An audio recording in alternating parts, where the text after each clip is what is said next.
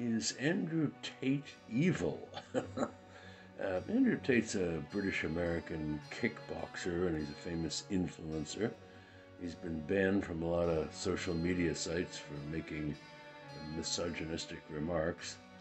Uh, he has, interestingly, now converted to Islam and he lives in Dubai. Why would he do that? I don't know. Uh, he seems especially important to 12 to 14 year old boys. He's clearly very smart, he's charismatic, and his outspoken uh, demeanor obviously enrages a lot of people, while others, especially free speech advocates, are enthusiastic supporters. So I examine uh, both views of this uh, fascinating and very controversial man. First of all, uh, let's uh, talk about those who say, uh, yes, he is evil, awful person. Well, first of all, he ascribes all poverty to laziness, arrogance, to stupidity.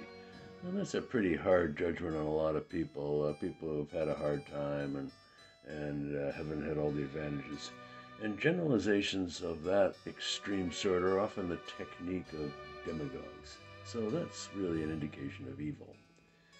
Uh, Andrew says that Black Lives Matter is a phony Marxist organization. Again, that dismisses a lot of legitimate grievance from the black community, especially against the police. He's openly skeptical about the George Floyd incident, and he even questions who is to blame for that uh, awful business of that man getting killed by a policeman. Biggest and most discussed issue with him is extreme misogyny. He evinces dislike and even contempt for women. He may even be mixed up about his own uh, sexual preferences. Uh, his views have been condemned by domestic abuse charities, and I must say he seems capable of radic- radicalizing uh, men and boys to cause harm to women. He says the UK and London are awful places. You, you shouldn't live there, even though he's part British. That's inaccurate and irresponsible. That, that's what evil people do to knock down their own country. He's an awful person.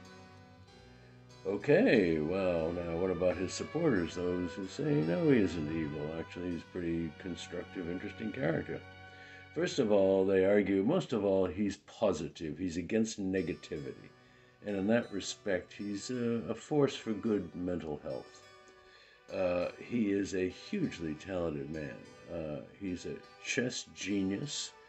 Uh, he's a many times kickboxing champion. He's an astute thinker, very articulate man, multiple skills of a high order. If you ever heard him interviewed, you realize how clever he is.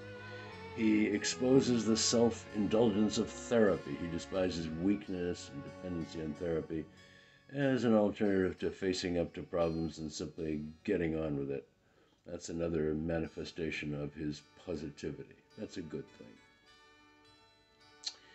Uh, Andrew sees through the phony race arguments uh, from Meghan, the Duchess of Sussex. Uh, to him, uh, she's not even black. Uh, outing her lies is a constructive act. He says he could tell uh, if she's black or not if she cooked some chicken for him because only black people know how to cook chicken. He believes in God, and God requires virtue and a decent value system. So that's a point in his favor as well. In short, his enemies hate Tate because of, as one blogger very colorfully put it, because of the programming that comes from the pussification of a generation. Take that. okay, what's my take on Andrew Tate? Well, it's mixed. Um, on the one hand, I admire his positivity. He's a half full guy, he's not a moaner or a victim. Uh, that to me is important. Also, a man of multiple competences. Kickboxing and chess, what a combination. Wow, I, I must say I admire that.